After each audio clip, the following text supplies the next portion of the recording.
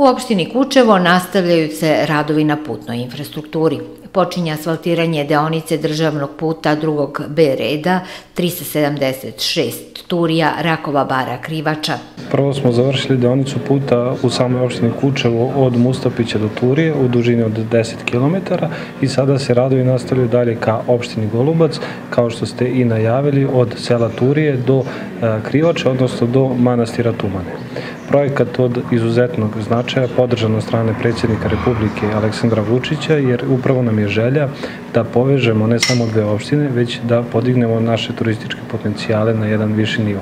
Namera je da se opština Kučevo poveže sa susednim Petrovcem na Mlavi, ali sa autoputem Beograd-Niš preko brze saobraćajnice Požarevac, Veliko gradište Golubac. Dobit ćemo jednu, da kažemo, transferzalu koja će omogućiti građanima svih opština da ubiraju benefite ove jedne saobraćajnice i mislim da je država prepoznala upravo to i da iz tog razloga podržala i evo sad smo u samoj realizaciji.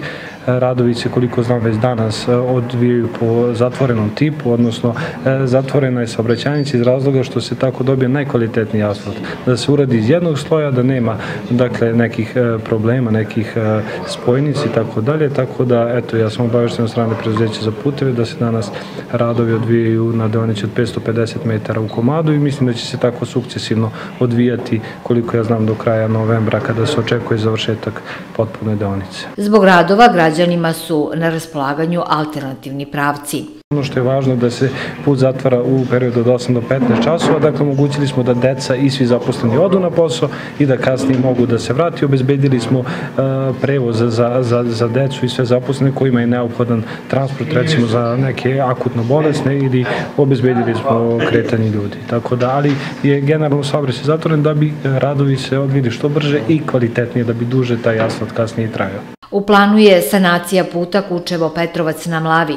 Tokom novembra pristupit će se pojačanom održavanju, naročito najkritičnijih 7 km, što će olakšati rad zimske službe.